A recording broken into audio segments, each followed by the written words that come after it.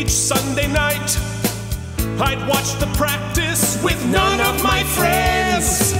I'd turn the dial to ABC to see the creep of the week that Bobby Donnell defends. But I'm out of practice. With your hosts, Keith Barney and my giant forehead, apparently. It's a five head, baby. Out. And Mike and Deglio. Oh. Way back in high school, most every night, my mom watched QVC, so I missed the practice. There was no TiVo. What could I do? Wait 15 years, get fat, then stream it on Hulu. Out of practice. Last night was the Super Bowl. I will not be discussing it.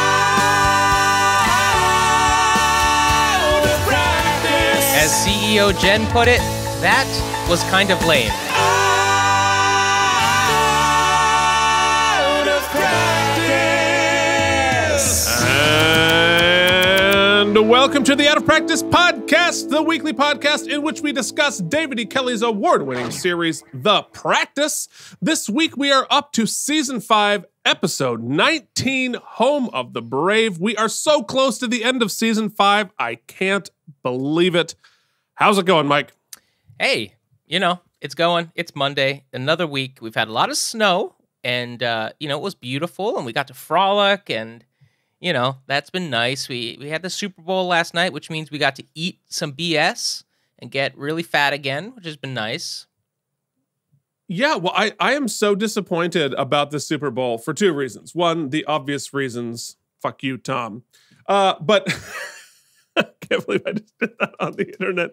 Uh, but beyond that, uh, because of the snow, which was so great, which was so much fun, uh, Jillian and I we went, we built a giant snowman in our backyard. Yes, it was was epic. like so much fun. Uh, but because of that, I had been planning for weeks on the Super Bowl to uh, order a box of garbage uh, of like wings and uh, and mozzarella sticks and fries and just like sit and eat a box of garbage during the game. But because of the snow, like we we I, you know it felt like a lot like a big ask to get somebody to come out with all the snow just because of the timing of it. Right, right. So I made some nachos, but I was very disappointed not to eat a box of garbage while a garbage person won his 700th Super Bowl.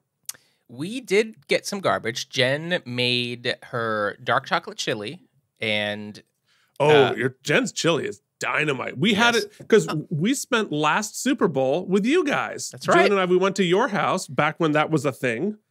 that The- feels the- like the last month of it being a thing. that feels like forever ago. Well, that's what we didn't even know. n- neither of us knew we were moving at that point. That was February No. of last year, and everything was fine. It- Literally. it was a com- and it was literally it was weeks from not being fine. And i was already like starting to be aware that things weren't going to be fine.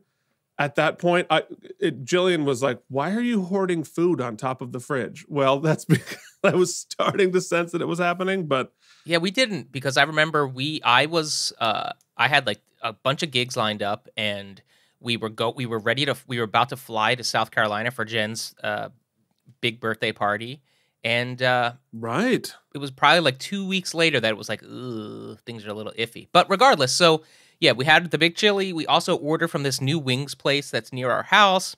i wanted we had a whole bunch of wings. wings and fries, which I haven't had any bad food in like weeks, so it was kind of nice. Uh, but then I started to feel like like death. Uh, my inside started to turn inside out, and uh, for multiple reasons. And uh, yeah, you know what? Okay, so the Tom Brady thing aside, uh, for for those Super Bowl that aside, Keith and I have our own I, don't think about Tom. any of our listeners give the tiniest shit about anything to do with sports. That's the, That's the true. But listen, here's the here's the important thing. As far as a pop culture event, the Super Bowl is a big thing, and it is. and I just found here's here's what I found. Um, I found that for me, the uh, the halftime performance was like, eh, I, I'm I'm not like I don't have the vitriol that I saw online about it. I also didn't like love it like some people. It was like meh to me, but that could be because I'm out of touch with the kids and their music, right? Um, but on top of that, the commercials, which are generally like a huge sell, like a lot of the the big players generally uh, like sat this year out, and then you know some of the, some of the big reveals like the Wayne's World thing and the the uh, the George Costanza thing. Like I, I don't know, there wasn't anything that like really knocked it out of the park, and the mixed messaging I felt, and I don't want to get here we go with that politics Oh, here we go. there's all this talk about unity and they like they they they brought uh, Vince Lombardi back from the dead to like pep us all up And the in I the think it was. Dan Loria too. yeah it was weird whatever it was I Yeah. I did not find it inspiring I found it creepy um Mhm. eh, Eh, m- but meanwhile d- during during all of this Colin Kaepernick is like watching the game at home right because we're not going to address that Right. and in addition we're celebrating the greatness of this like weird MAGA guy Well, yeah, and I, I, I have been the unity, unity, unity thing has always a little bit set my teeth on edge, and like. It- It's not that I'm I, I'm 100% for unity. Of course, for unity. Yes, please for the love of God, let us reunify. But there is all of this rush to unity without accountability. And I don't think you can have unity without accountability and and those two things are is, uh, must be are essentially tied together because it's not unity without accountability and and i and it it's tough. It i i find it a little bit rough when when you don't marry those two together. It because it because i think that one side of the spectrum is really pushing one without the other. Let's let's skip accountability. Let's just skip right to unity. So therefore the thing that tore us apart can just come right back because there is no accountability. Sorry Well, that's my soapbox. Yeah, but let- but let me talk about how that has. It was not even. You couldn't even paint a better picture of this than we've been hearing for weeks and weeks and weeks and weeks that um, they're. You know what? We're going to have seventy five hundred vaccinated healthcare workers that will be, you know, at the game. And the implication in the press, at least, what I, the way I read it, was that those would be the only people attending the game. But Super Bowl Sunday, there are 22,000 other, most likely un- inoculated people. Yeah. So yeah that's mixed messaging. And I have to say, as just a side anecdote, and then we can jump off this. Um, uh, I don't know if I've mentioned it. It's probably come up a little bit. I spent about two years of my life living and working in Tampa. Okay, I'm I'm well versed with Tampa. oh yeah Um, I still have a, a handful of friends down there, uh, and I do I do not say this lightly. I'm not making light of it. Um, in fact, one of my friends lost his wife recently to COVID. It's it's a terrible, terrible thing. I think we all are on the same page about that. But three of my other friends from Tampa, all on Super Bowl Sunday, on the social medias, announced that they were COVID positive, and I'm like, well, hell, here we go. It's just it's just Yeah. a it's a fiery pit and uh, and it was just a weird place and time to be celebrated it just it, none of it it wasn't overall an enjoyable evening for either of us keith i think we can say that Well, no, and no, and I, I think it's just, yeah, it's mixed. I, I, I think you know we had mixed messaging. We had all, it, it, but the whole thing was like, uh, and, and I, I think that's just reflective of our times right now. That they're like we can't really have nice things that aren't at least complicated, if not tainted by the environment that we're in right now. All right. So, all right. Well, on that cheery note, we have a whole bunch of stuff to talk about this week. In starting with our segment. Filings and subpoenas. Filings and subpoenas. Filings and subpoenas. Filings and subpoenas. I would like to start with two things. Was that obama Uh, or that's just sometimes you just meld seam, so seamlessly into your obama Uh, I'd like to thank a couple of our important listeners who have done amazing things. Uh, first off, uh, I'd like to thank uh, Jorge Navoa Oh, once yeah. again for the uh, ridiculously complicated and uh, beautifully edited video uh, that he put up last week. Check it out on our Instagram or on our Facebook. Uh, thank you, Jorge. Oh, my voice is sitting pretty low today. That's basundo it's, it's but, yeah. I'm gonna I'm gonna talk like this now for a while. Get right on the mic. Okay. Uh, and the other thing I wanted to talk about, we mentioned it very briefly at the end of last episode, uh, but our good friend and founding sponsor, Leanne Hart, has put out her book. She's been talking about it for a while. She's been in the editing process. And guess what? You can get her book right now on the Amazon. It's called Loving Rosenfeld by Leanne Hart. You can pick it up on Kindle or on paperback. Go get it. And uh, uh, as somebody who has done exactly this a couple of times, it is an, a ridiculous accomplishment. Uh, so, congratulations, Leanne. And Keith, That's I believe that this particular novel is your precise oeuvre that you really, really uh, tend to gravitate towards. Uh, I, I haven't actually read it yet, but I will. Uh, there's there's a coffee and a book on the cover of the book. So and, and that's uh, what it's about, Keith. You should know going in. It's about books and coffee. So you'll just Books and you'll, coffee. you'll love it. Yeah. Excellent. All right. Well, check it out, guys. Uh, congratulations, Leanne. That is a huge accomplishment. Yeah, uh, awesome. I, it, it, and and getting a, getting it across the finish line is really so hard. I mean, it is the the editing. I mean, I mean, the obviously just writing an entire novel is is is a lot, but like the editing process, the finishing process, the getting all of that done. So, congratulations. Check it out, folks. While you're at it, check out my new book, The Farmer and the Two Faced Lord, a picture book for adults with a very bleak and dark and horrible ending. Uh, you can also get it on Amazon. Just search for my name, Keith Farmer, The Farmer and the Two Faced Lord. Uh, Jillian's, I, I, I'm editing a sort of reading rainbow version of it. Okay. It's a picture book, so we have all the pictures. And I showed Jillian the first draft of that, and she's like, uh, this book makes the world a worse place. So Well, that's a blurb for the front cover if I've ever seen one. I know. So just think about that. My own wife to me said this book makes the world a worse place to live in. And I am so proud. That's exactly what I was hoping for. That is the review I'm looking for. So if that doesn't make you curious, I don't know what will. All right. Well, moving forward into filings and subpoenas, we have uh, we've heard from some old friends, some new friends, some old old friends. But Yes. let's start with our moderator, of course, of of course, of course, Phoenix Cage, who is talking about last episode, uh, the confession, which we both really enjoyed. He says the three of us definitely agree on this Wow. episode. Wow. My, I, I don't think we've ever agreed, all three of us, on anything ever in all of space and time. Until now. Uh, but he's until now. But he says my reasons are that it didn't focus on the morality of this case, but rather the broader ethics of the law. Meanwhile, it developed the relationships of the characters using the tension created by the case. Mhm. It had an A story so good it didn't need a B story. So you can't argue that the B. Does that keep going? All right. Well, weird. I, I can't expand it. Well, that's that's all Phoenix had to say. He didn't have to say. Anything. I'm just going to pretend he didn't say anymore. He also said, in undergrad, my focus was psychology and philosophy.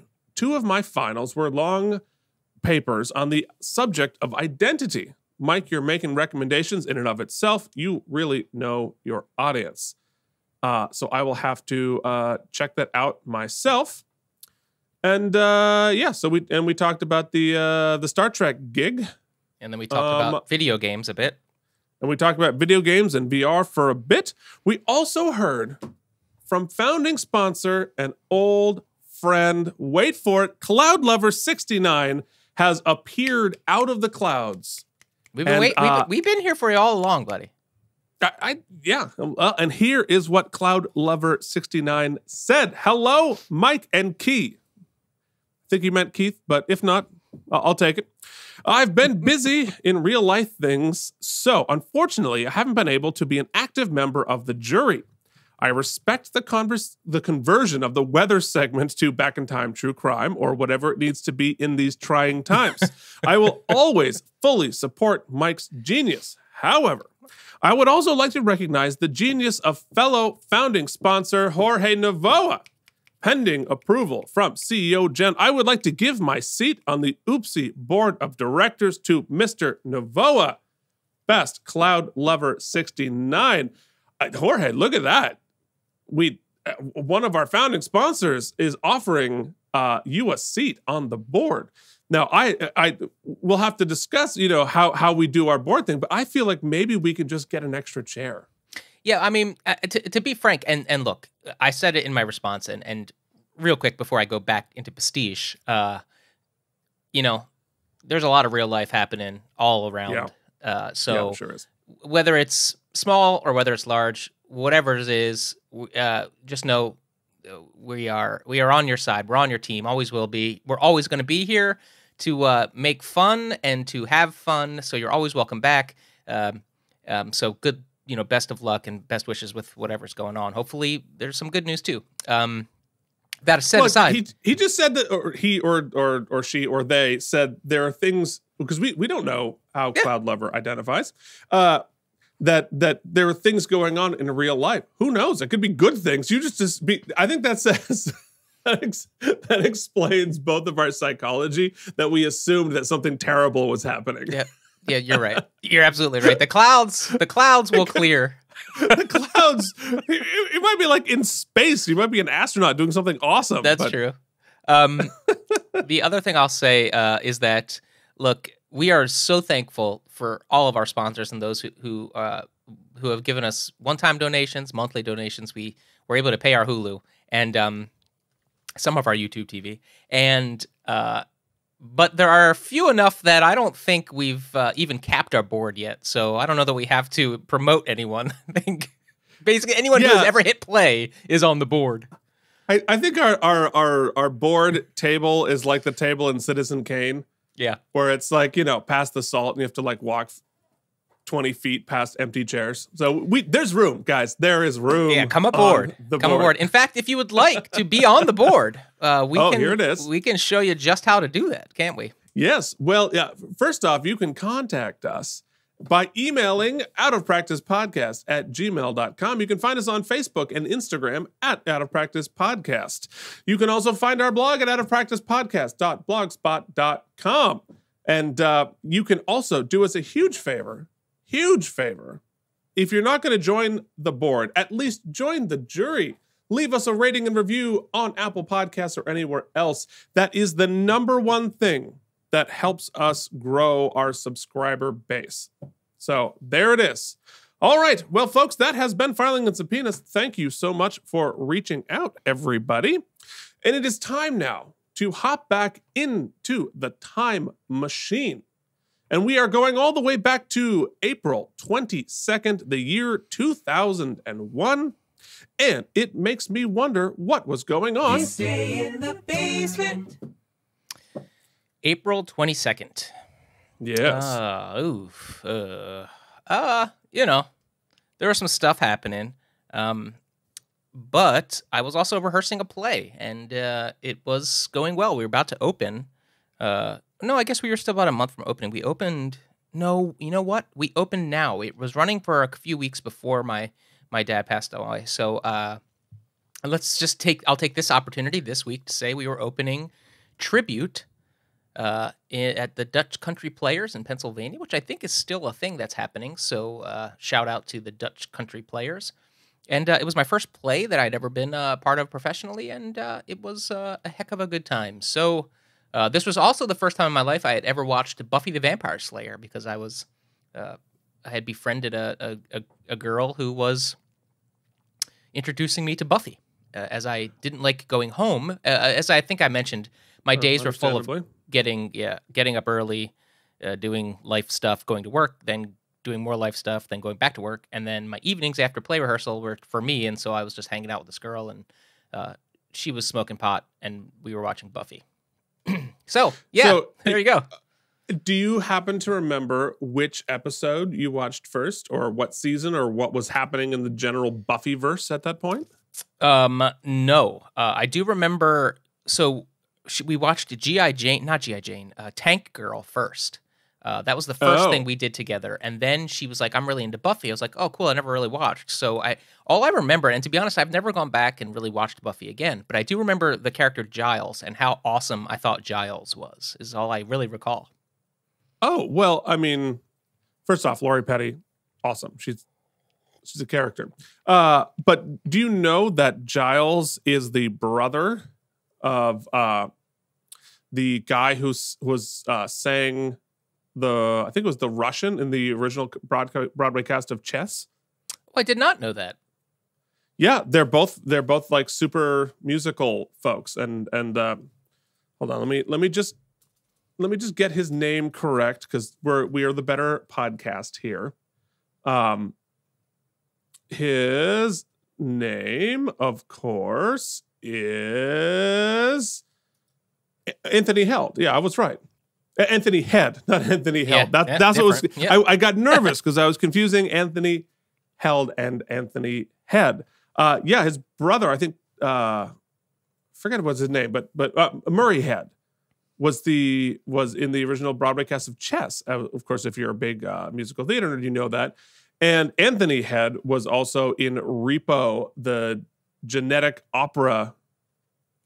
The uh, yeah, Repo, the genetic opera, which was like this horror movie opera Right. it's unbelievable. It's cr- it's bonkers with Sarah Brightman okay. and such. It is it is horrifying but fascinating. So definitely uh, give that a check out if you're in a weird mood.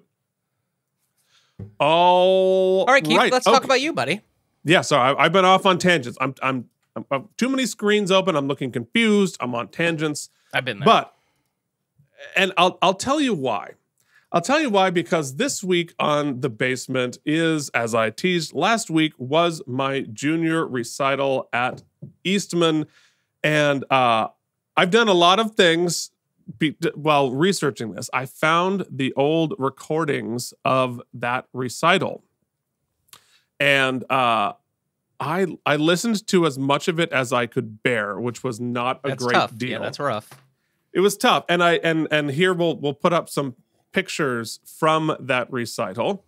Uh oh lord. So speaking of like gi- bobby's giant jackets good lord. I was a big fatty fatso. Uh i still am. I had a brief moment where i wasn't.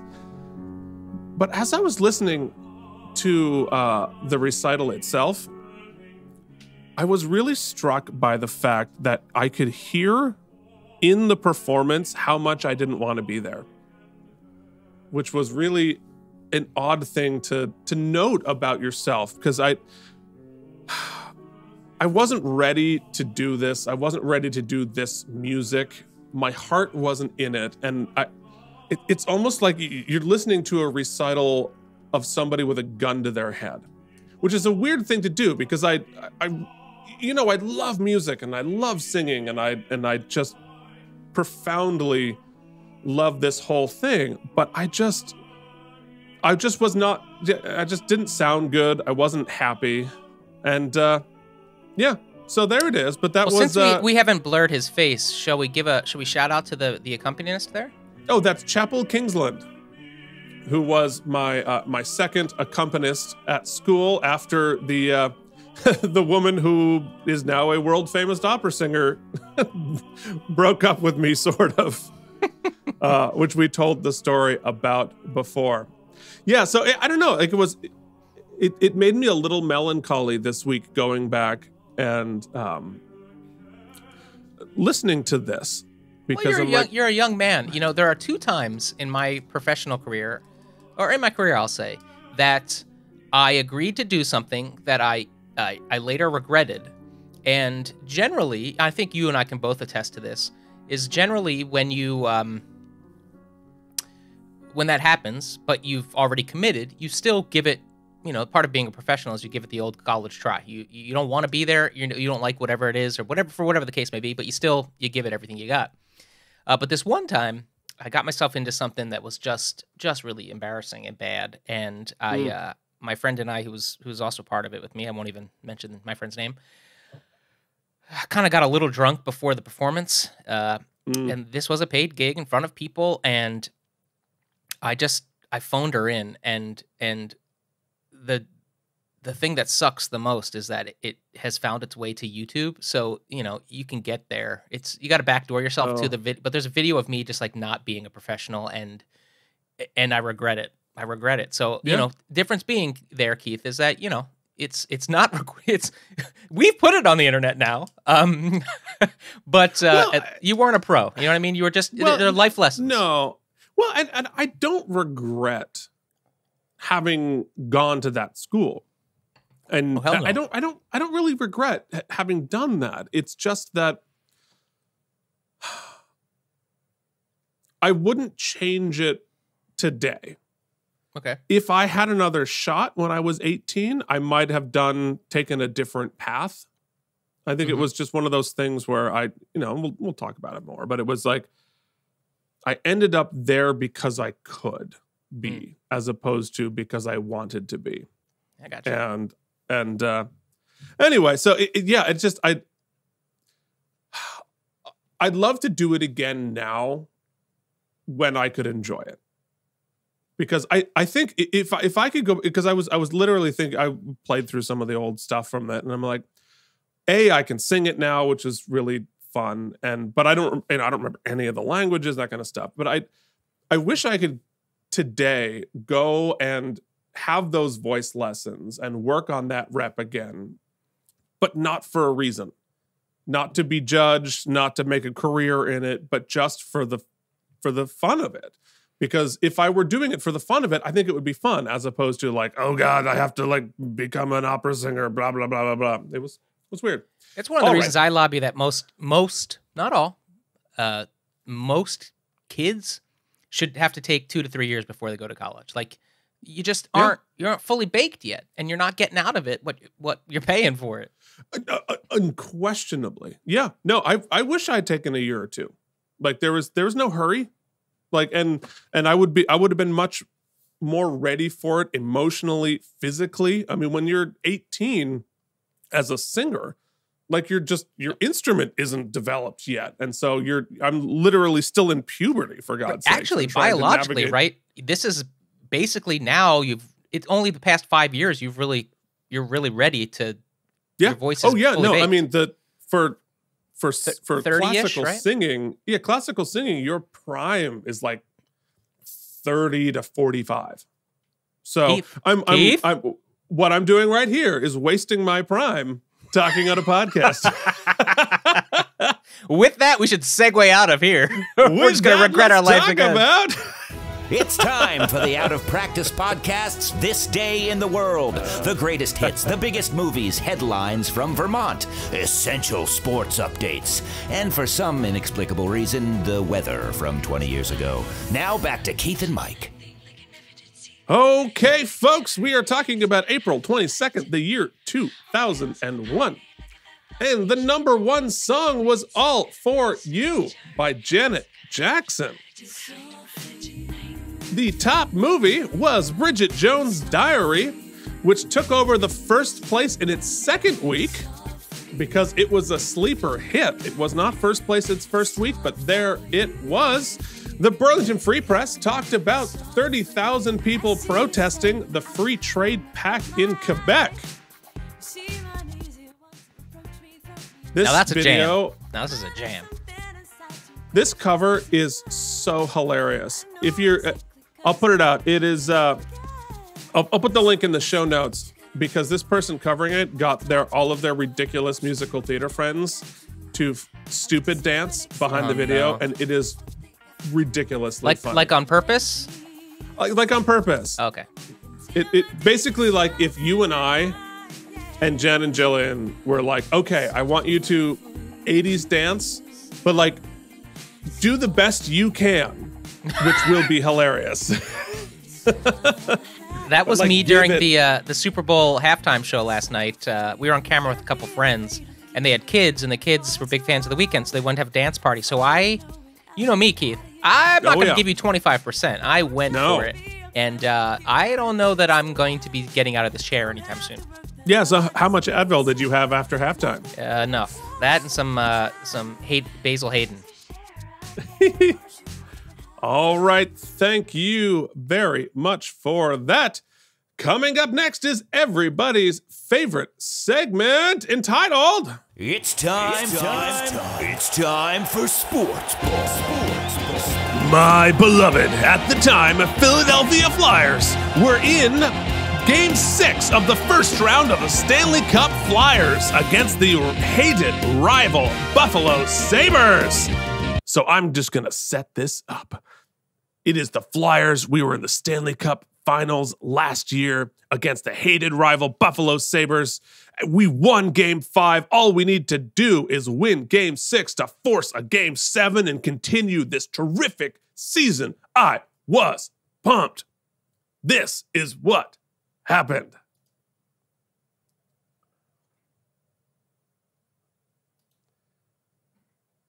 That's one nothing Buffalo. That's two nothing Buffalo.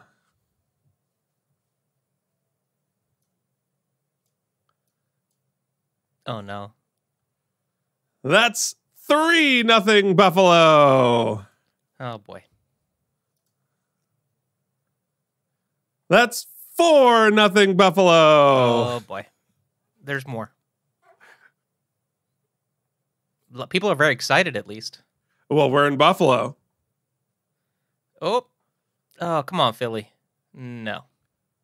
That's five nothing Buffalo. Oof. Yikes. no, is it keep going? Oh yeah. It's six nothing Buffalo. Wow. Okay. Yeah.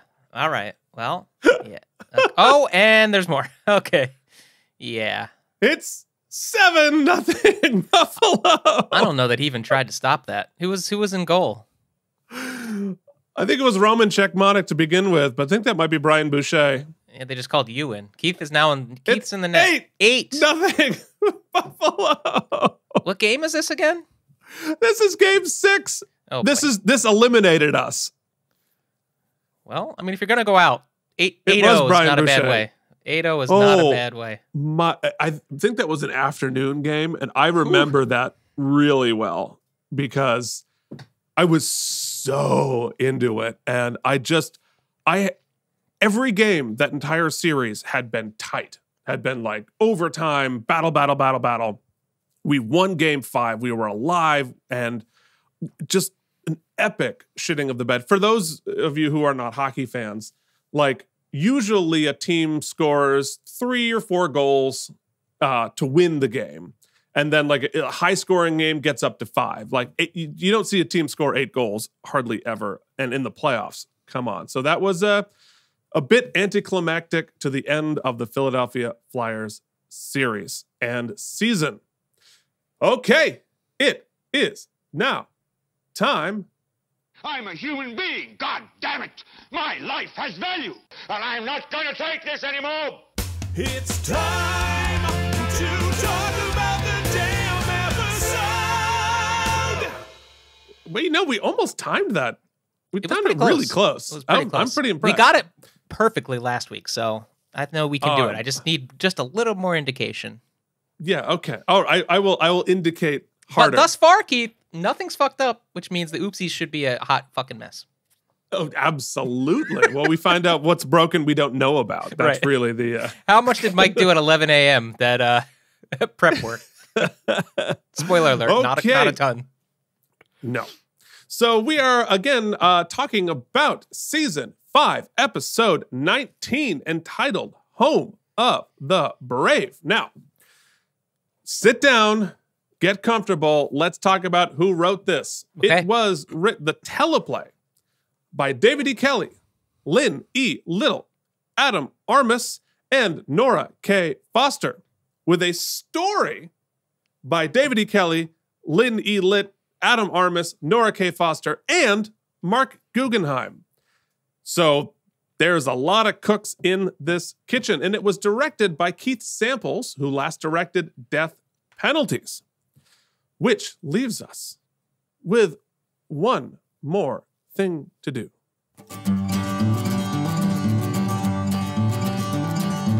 What is that supposed to mean? What's your problem? Is this what happens to women when you insert your penis? What? What? What does Mike think's gonna happen? You know, what if he would have drank the curdled milk? Then what would have happened? You know, yesterday, Keith, we had curdled milk, and uh, Jen was like, "What's all this white stuff floating in the coffee?" While we're like. Oh God. Oh, that's not and do you know what CEO Jen did, Keith? Because I was I was working. This wasn't yesterday. This was Friday. Doesn't matter when. Not part of. Not pertinent to the story. But I was working, and she went out in the inclement weather and drove and got more cream so we could have coffee together. God damn. She I, I think Jen might be the nicest person any of us know.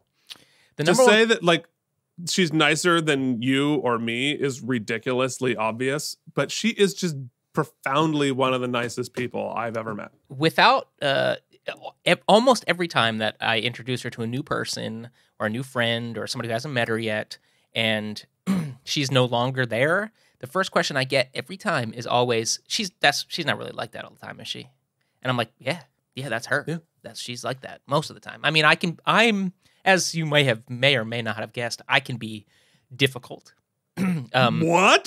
so you know, I can't imagine. it's it's not all she sometimes has to defend herself so uh, she does she does have uh, other degrees um but you know i know when when the when the kettle is uh whistling because I'll, i i often will get a i will not be spoken to that way and i'm like whoop that's when i know i've pushed well, boundaries. good for her. yeah damn right Good for her. Yeah. You know, because uh, I, I don't know if uh, people also know, I also ha- uh, have moments of being difficult. hmm. I- two I- I peas in that little you- teeny pod I want to get your shocked face. oh my God. We are two of the most uniquely difficult people in the world, but different. We're, Yes. We are difficult in different ways. I'm more of like a uh, narcissist, linguistic bully bulldog. And and and you're how would you describe your difficulty? Um, I'm a lawyer. I will argue the other side of the coin, even if I don't agree with it or believe it, just to friggin' be a pain in the ass. Yeah, well that that I'm a contrarian at times, I would say. Yeah, I, I will definitely go into the courtroom, but I will always believe it, whether it makes any sense or not. I I, I will be able to talk myself into believing it. So No. I, I would I, I'd be the good lawyer because I would be Bobby and I would always talk myself into thinking that my client was innocent, even though they were blatantly guilty. Though, Keith, I think today we talked about a little bit off air, so I won't I won't relitigate it. But you know, you and I also are, but uh, to, to our counterpoint is we're also very fiercely loyal people. So we we, We are. reward loyalty, and we are loyal, and uh, we surround ourselves with those type of people, which is difficult to find in our small little circle of business. So uh, it's not all it's not all bad. No, It's mostly no. bad. It's mostly no, bad. I, look, we're we're we're great people, but we're we're, we're difficult sometimes. Yes. That's all. Okay, uh, what were we doing? Oh, you're going to tell me what happens in this episode. Yeah, so I think that the uh, sheer uh, quantity of creatives on this episode is indicative of the fact uh, that the previously on, which I watched this week, um, and it was a it was a doozy. It was like a minute and a half previously on, is bringing back to the forefront a variety of through lines that we've had. So we've got. Does everyone remember that Lucy was a, uh, a rape crisis counselor? Because that's back apparently. Um, Right. does everyone remember when uh, Eugene was in a buddy cop show with Ernie Sabella? Because Yes. that's coming back. And there's one other thing uh, in the previously on that I've forgotten, it's coming back. And so I think that in order to merge these three storylines, they probably had to bring back into the fold the folks who were working on those storylines. Would be my guess. That makes a lot of sense. Um, how we're going to. I would, I would, I, I'm, I'm, I'm tempted to think that we're gonna have just have multiple stories going because to to somehow merge a Lucy as a rape counselor, crisis counselor, and Ernie Sabella's like generally general comedic appearances. Yeah, seems, that's a, that's a bit of a tone shock. Yeah. Yeah. though he was sad puppy at the last one. I mean, it they it is a sad kind of tale. Oh, he's oh, he's heartbreaking. Yeah. Um, and let's not also forget this wasn't mentioned, but we do now have bad guy Helen back. So let's not forget that from last week. So anyway, I it's the it's the we're coming up to the close of the season of Big Swings, so I don't want to let us anybody down.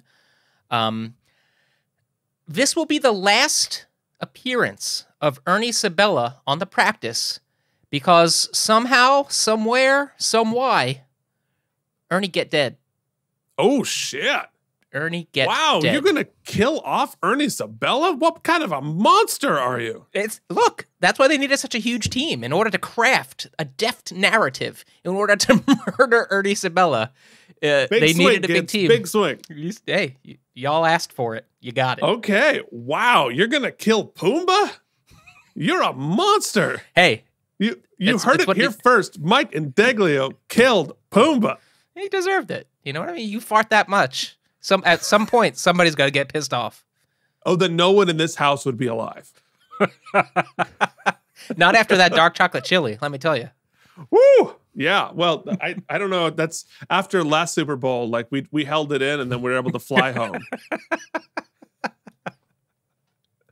okay, folks. Well, if you would like to listen to us, listen to the episode, then you should hop over to uh, hop over to your podcasting service of choice, and we will see you back here for the oopsies. And we are back, baby. Yes, we are. Woo! That was uh that was an episode. Yes, it and uh just you know, just in case you don't remember what happened, it's my favorite segment. Mike has 30 seconds to remember what just happened on the show. Well, y'all, uh, everybody's pissed. Uh, a, a young woman was raped blatantly, uh, but guess what? They put her on the stand. They don't make her go see the Mikes or the Bobs, and uh, it turns out they use Lucy against her, and uh, the rapist walks off, and then we sort of mansplain it in a weird way. Uh, this other guy gets deported because his brother wants to kill his mom, and then Harlan Bassett does something right and uh, elicits Eugene to help him out in a case that hopefully we'll see more of next week. Uh, yeah, okay. Well, there it is. And no comedy, All but that was just the straight up and down. No, that's that's just that, this, that that is what happened. Oh, well, you know, sometimes that's that, that kind of episode.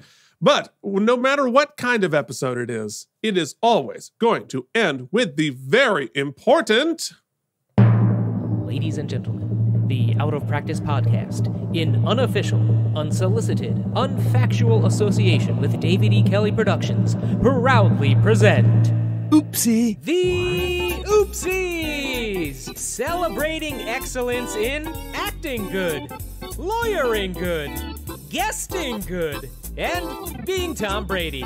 Not to mention, this is where we rate the episode and stuff.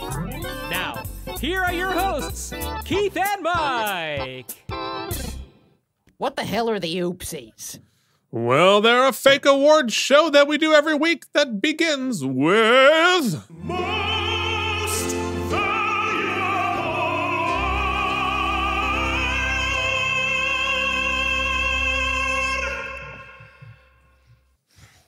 Listen.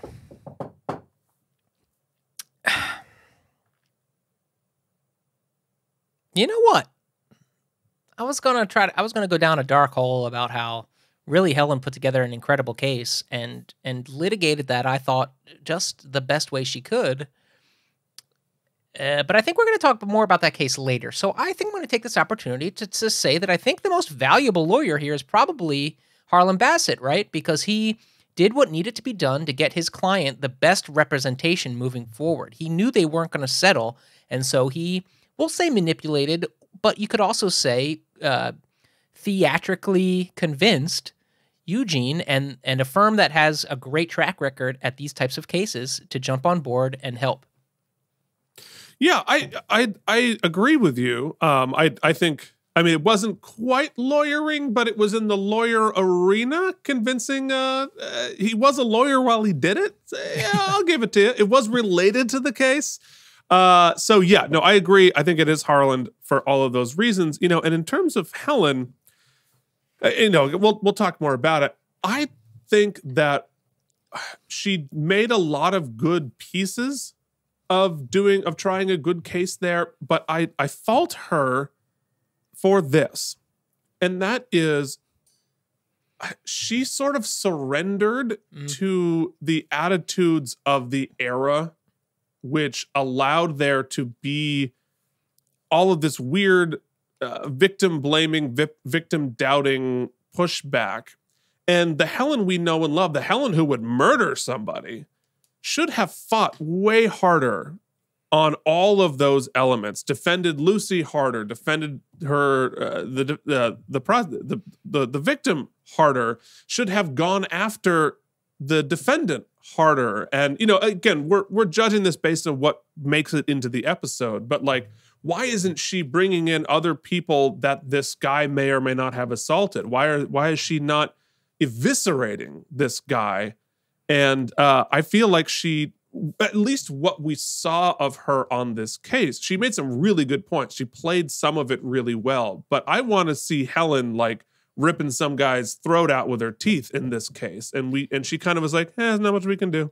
Yeah, and and though you're right, we there's a lot we didn't see on camera, but what we do see, at least at one point, is even though it was dramatically enhanced, after the one woman who we who they gave us zero context about, right, goes on uh, and says that Lucy quote unquote co- coerced her to uh, claim rape. Lucy stands up in the middle of court and is like, "Yo, we should go back at her. Let me put, call Yeah. me back up. Let's refute that." And and Helen just concedes, and that I think she's is like, eh.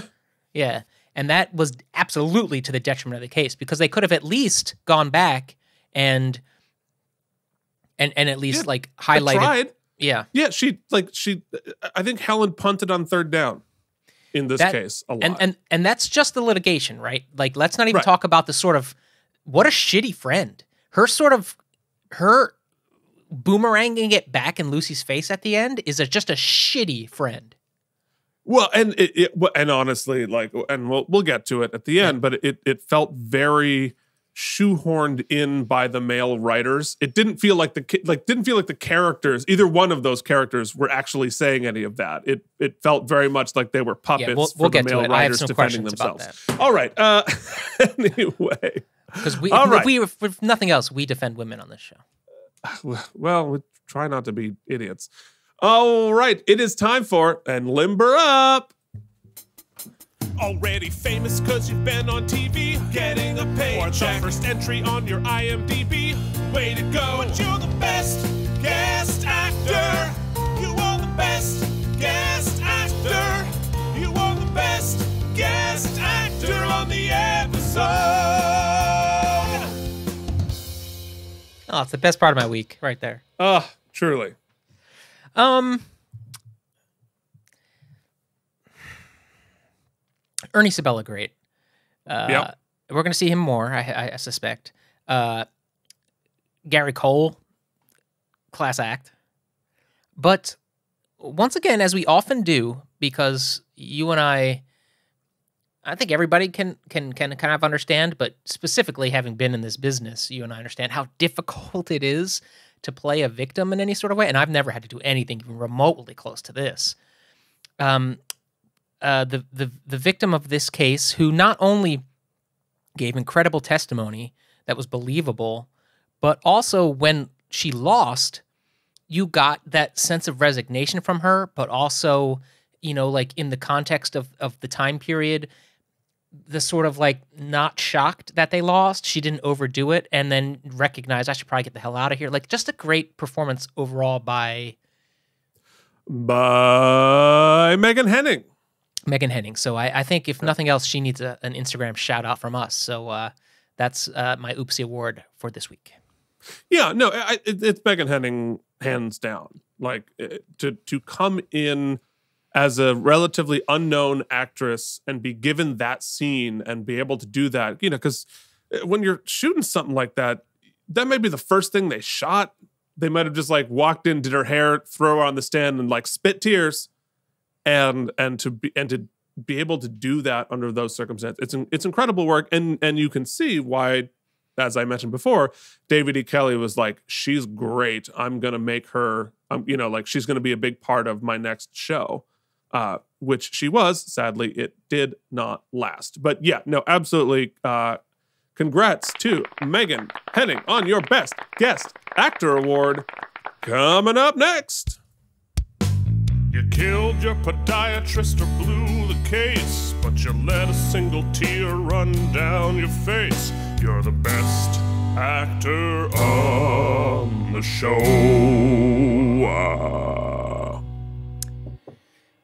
This one's a little trickier. Uh, Steve Harris, excellent, uh, though fairly one note this episode. I mean, they didn't give him a, a, a ton of stuff to do. Uh, Bobby is not in the episode.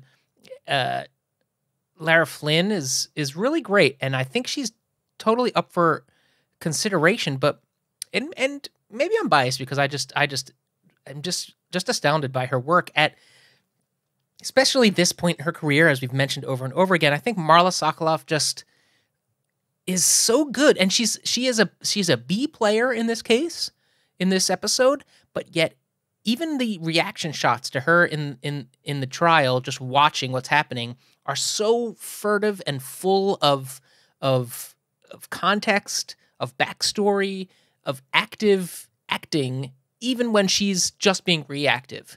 And you know, on set, sometimes that's filmed asynchronously. Sometimes it's just really hard.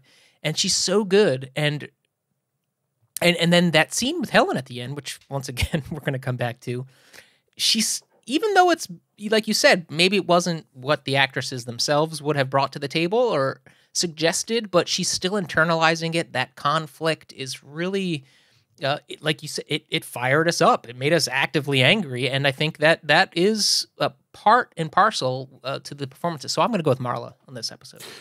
Yeah, no, I, I thought Kelly also did a good job um, in her, although she was mainly just sort of reacting to what was happening as opposed to driving what was happening. But yeah, this is Marla's episode. I, I thought she did an excellent job. I love this development of the character because I was as I was watching this, I was thinking back to uh, season three, which is her first season on the show, and her first few episodes, and like what the role she was. She was the snarky agitator in the office sort of behaving like a like a bratty teenager. And now this is very adult arc. She's grown a great deal.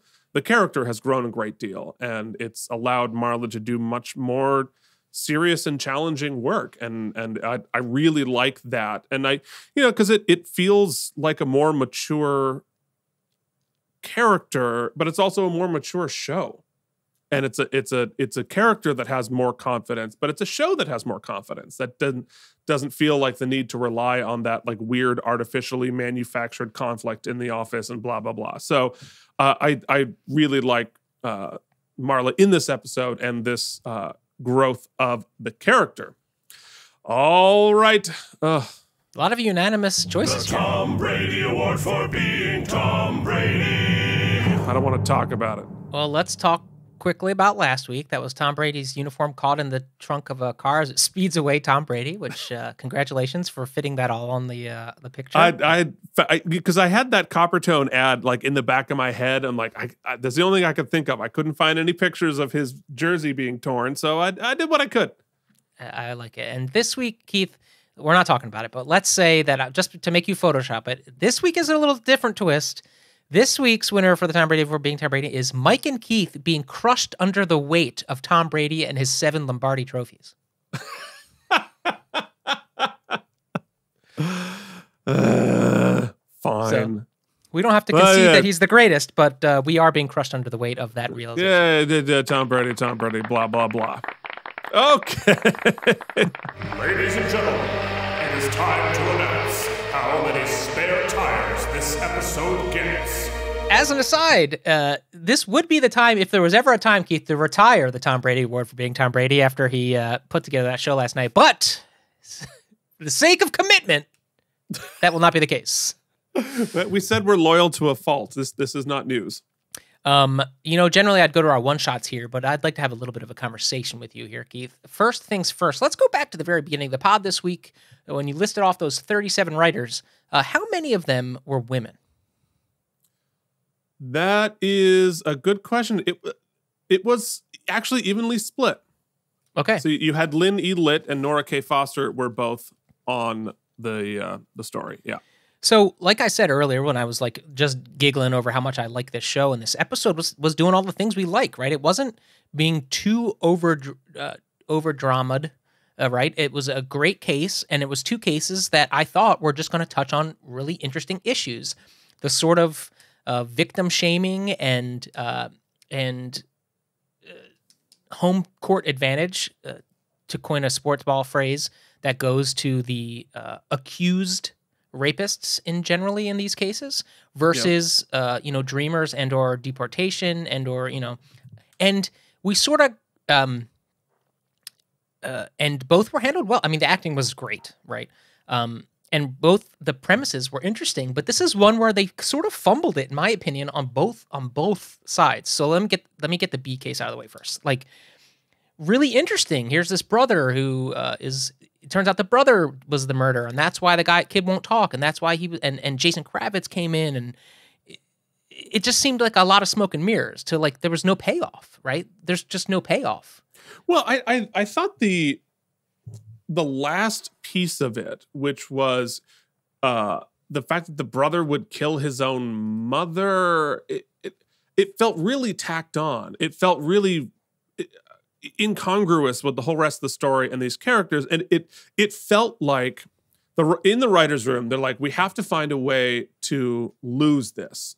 Like Mm. we we want uh like we want to to actually deport him and we want to sort of feel the emotional weight of that loss which i i completely agree with i think that's exactly how they should have ended it but they couldn't find a reason not to have him just testify against his brother and like his, his brother murdered some and like that- what they they, need, they felt like they needed a better reason for him not to flip on them. So they tacked on this weird thing about the brother killing the mother for some like why wouldn't the brother just kill him? Like what is the weird it, it felt very like oh like midnight we need a solution in the writers room kind of a thing. Now, moving on to the other case, I know we both are in agreement. And let me first look, I'll concede that there is an interesting conversation uh, about the role. Can can the, uh, a, a rape crisis counselor influence a, a, a, victim? Can does a, a uh, a defense. Well, the first, my first problem is that I think it's a false equivalency with with Helen saying, "Well, you know, often I'm so motivated to convict a client that I I push Right. to."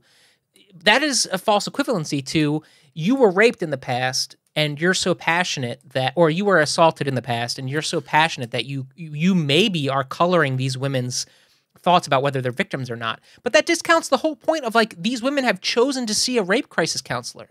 So they have Well, right, and- already already contemplating their victimhood. To think that Lucy somehow puts them over the edge, eh, which somehow g- Right. gains credence to the uh, es- eh, the innocence of this man is and that th- that and that consent is such a uh, a delicate flower that it that it can turn on a dime it's so like that. ambiguous Yeah. right It it it just is just some bullshit. And I don't think it's just 20 years of evolution, Keith, on the I just think it was a fumbled ball from the get. And I can't Yeah. believe that that somehow this nobody called them on it in the writing Well, in, in in the production of it. Yeah, yeah, and, and which makes me think that the opposite happened. That uh, I I I think uh, you know I I I I think there is a world in which, and I have no reason to believe this, but I I think there is the first draft of this did not include that conversation because everything else in the episode, the music, the writing, the performances, how Gary Cole, like, because if you look at the direction of it, right, the way Gary Cole is performing it, the music that plays when uh, when he's talking, when the case got adjudicated, the way we're we're framing and the music that's playing when Lucy's talking, all of it, all of it, and which is why I, w- I- I was so thrown by this conversation because all of the storytelling leading up to that moment was telling a completely different story than that moment did. So I'm wondering if somewhere along the way they got a network note or somebody got cold feet or somebody had a bug up their ass. It oh, like that scene could have been like filmed a week later, honestly, mm-hmm. because it it felt so tacked on and so undercutting everything. They were scared of this episode for some reason, so they felt like they had to throw doubt on it. Well, that's the biggest And- crime of it. The biggest crime Yes. is that it changes two things. It radically changes the episode morally, right? The moral center, the nugget, the takeaway, whatever you want to call it. It radically changes that. I think. Maybe you could. Yeah. Argue, maybe someone will argue differently. Please write in. I think, and additionally, it it throws such a wrench into the arc of Lucy as a character. Right. Yeah, I well, mean, it- yeah. not only the victim and such. I mean, that's uh, that's part and parcel with what we're saying about the the whole moral of the story. But but Lucy, who's doing yeoman's work. I mean, it ain't like she's she's got a full time job and she's doing this great service, and yet and has been a victim herself, and and now she's being sort of shamed. It's a shitty thing to do to both of the characters, honestly. Oh yeah, because yeah. up up until that point, Helen was nobly fighting for the right thing.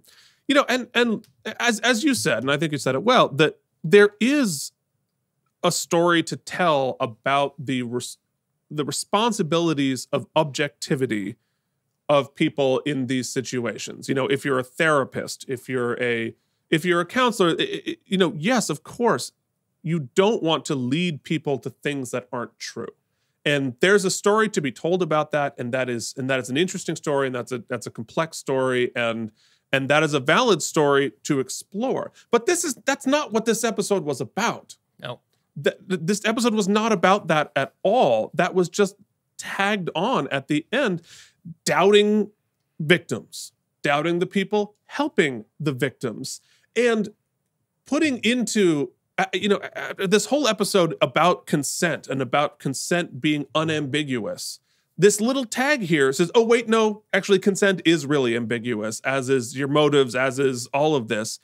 It it was really ugly to to end the episode undercutting not only the the rest of the episode but the very idea of consent and it it, it was just I, I was so mad because I was really on board with this episode. I wrote down, wow, this episode could have been shot today, like this. And then that's what you do at the end of that. And I don't know who made that happen, whether that was David E. Kelley or with somebody else, but David E. Kelley should not have allowed that to happen. And it's just shitty. you know unless unless you know and and we have the uh we have the benefit of of knowing or somewhat if they were going to come back right it was going to come back and be like uh we were going to revisit this and i don't know that that would have salvaged it but at least we could have like refound re, re- recalibrated our moral center but I, I don't suspect that's going to happen as it's clear we have other fish to fry with with ernie and and stuff um, we only have a well, couple I'm- episodes I'm left in the street. I'm excited about that part. Yeah, Yeah. I mean, I'm excited about the Ernie part. Mhm. I, and I, w- I would have, you know, and we should give out some tires and move on with our day. But I think I would have given this three tires higher. I was ex- I was expecting to give this a very good rating. I, yeah, was, I really eights, liked this episode. High eights for Yeah. sure. Um, Yeah.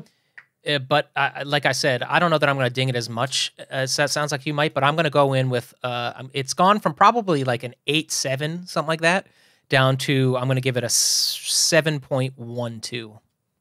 Yeah, yeah, and I, I- I feel this the same way. The thing that this show, their Achilles heel, is consent.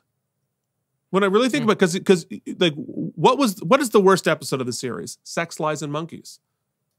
And and how Kelly was raped and how she dealt with it and how people around her dealt with it and how the show dealt with it. And this is the second time where the show has really not just fumbled on the one yard line, like dropped the ball, pulled their pants down, and taken a shit on the one yard line. And and I I think that, I, I don't know. Is it David E. Kelley? Is it someone else? Like I don't understand why the show struggles with the concept of consent. Uh, so therefore, I give this a five point one spare tires. It would have been an eight point one, but you get a 5.81 because you fucked it up at the end. Okay. Not that I'm pissed about it, but I'm pissed about it. Yeah, I think you should be. You know what I'm saying? Yes.